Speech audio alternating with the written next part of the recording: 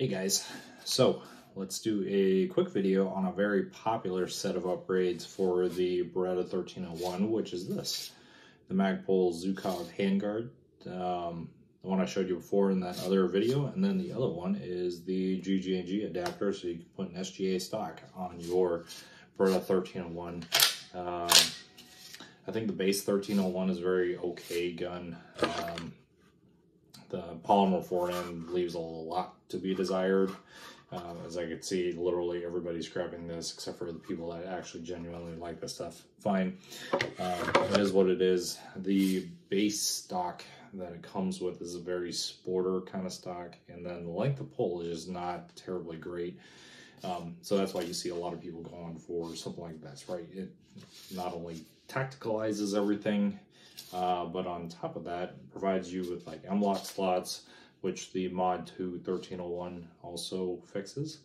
And then on top of that, um, this is, I think, is a great addition. Um, the the normal base one kind of just, um, like I said, it's very sporter like. This one, at least, you know, it kind of corrects the angle of the uh, pistol grip, so it's actually like kind of a normal pistol grip. It's not you know, swoopy like the other one is. Um, but yeah, so I, I think it's really uh, Aridus, I think is the company's name, but all these ones are all GG&G. I, these are almost a dime a dozen. Now Aridus, is, I think, is the one that really came out with it, but everyone else started copying it because it was such a great idea. And then, uh, yeah, so you see everyone's Beretta 1301 kind of generally looking like this. Mine now generally looks like this because it's a pretty good setup, right? The hand guard, um, unlike this one's, it's checkered fine, but there's no, you know, nothing really great about it. Um, the GG&G handguard, at least, and I'm sure the other ones that are kind of the same style, um, you know, it's the same way. It's it's a bracket up front, and I uh, I think Aridus actually has a bracket now that even has M-LOK on the bracket, but it's a bracket with the Magpul Zhukov AK handguard, which is nice. It's red for your pleasure, right? It's got M-LOK slots, and then um, it's the same general feedback everyone has. The middle part's kind of flimsy, um, you're not doing anything but gripping it anyways, but you know, very nice, very nice. Um, bottom M-LOK slots here have a heat shield in it, so you can't use them, um, which is kind of unfortunate unless you pop the, hand, the uh, heat shield out. Um, but that's kind of where your gas piston is. So do you really want to burn yourself? I don't know. Um, I do want to get the Pro Style lifter one day. I don't know. Maybe, maybe not. We'll see. Um, but quick, uh, quick talk about the Zhukov stock. I, um, just based on initial impressions, it's cool. Um, of course, it's a traditional style stock. It's not a pistol grip like everything else. Um, but this part here is definitely Magpul inspired, right? It's very MOE. Well, it's a Magpul stock, so of course it's Magpul inspired.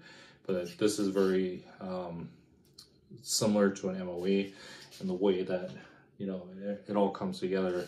Um, I think this corrects the angle that the normal stock doesn't have. Um, the normal stock, like I said, very swoopy, um, very sporter-like. This one is actually at least, you know, correcting the ergonomics. Um, of the gun. And then on top of that, um, this has adjustable uh, cheek rests and then adjustable length of pull, which the other one doesn't. I mean, it does do, but not great, not compared to this. Um, nice thick rubber recoil pad in the back that um, I guess with an adapter you can put all the normal Remington uh, recoil pads on there. Um, and then this one actually has sling loops, not just that little stupid stud at the bottom that I have to buy a sling loop for just to make this work. But um, very simple, simple product, very sturdy. Uh, traditional Magpul, right? Magpul is just um, sturdy and they do everything great, great design. Um, comes in about 110 bucks, so it's not inexpensive by any means, um, but it's a very, very quick, easy upgrade for your Beretta 1301.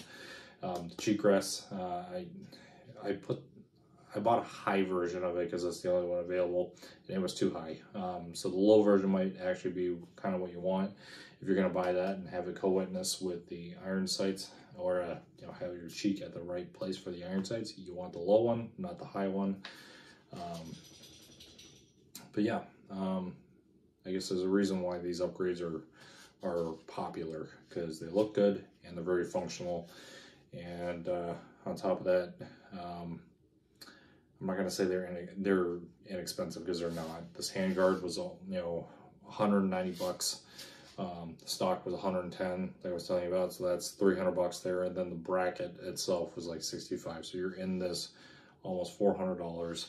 Um, I know Langdon Tactical themselves have a full package that you just buy the gun and it comes with like a trigger upgrade and stuff like that. But uh, if you don't buy stuff from Langdon Tactical like I do, and you just buy a Beretta 1301 off the wall, you want to spice up your stuff a little bit, you have the ability to um, without, I'm, I'm not going to say like a crazy amount of additional cost, um, but it's still it's still very easy to put on. It's easy to buy, easy to put on, and uh, kind of transforms the look of your shotgun. Um, I'll take it out to the range tomorrow, I'll give it some shots. I'm sure it'll function exactly the same like everyone else's Beretta 1301. Um, but on top of that, I'm sure the ergonomic issues that at least I found in the original Beretta 1301 are going to be fixed uh, with this. At least definitely this. I'm excited to I'm excited for the new pistol grip, right? This is nice. Um, yeah.